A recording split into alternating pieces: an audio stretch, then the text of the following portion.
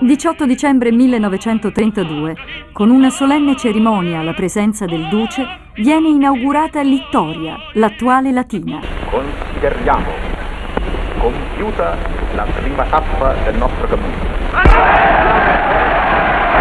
La fondazione della città è uno dei fiori all'occhiello della propagandata bonifica dell'Agro Pontino, ultima fondazione di città nella vecchia Europa. A popolarla sono per la maggior parte coloni veneti, friulani ed emiliani.